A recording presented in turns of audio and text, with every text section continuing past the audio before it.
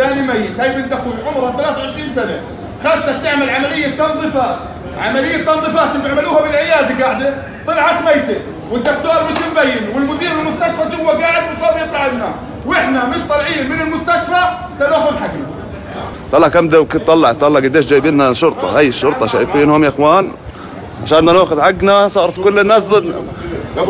جايين يحميهم يا زلمة. خايفين مننا يا زلمة. هم معانا. يا زلمة هم تفكرهم معانا يا زلمة. معانا. توكل على الله توكل على الله توكل على الله. بنت عمرها 24 سنة يا زلمة. 24 سنة. عملية تنظيف عملية تنظيف بس.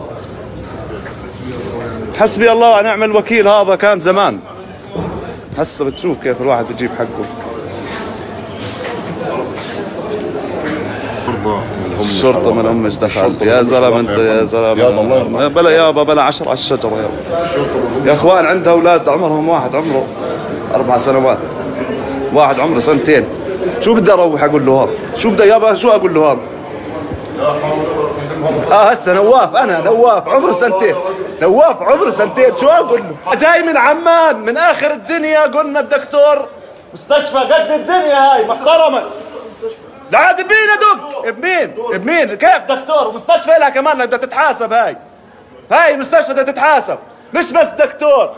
القصاص القصاص القصاص القصاص القصاص قاتلها بدون رصاص قاتلها بدون رصاص قاتلها بدون رصاص قاتلها بدون رصاص